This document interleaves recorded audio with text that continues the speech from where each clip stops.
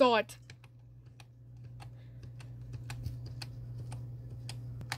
Well, that's one group of Giga Demon Bonnies, so let's go to the second one.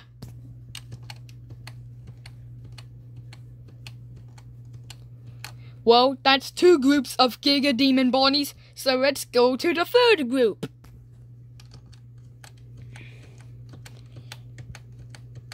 Well, that's three groups. On to the fourth group. What is the final group? Now there are four groups. Now let's go to the Giga Devil Bonnies.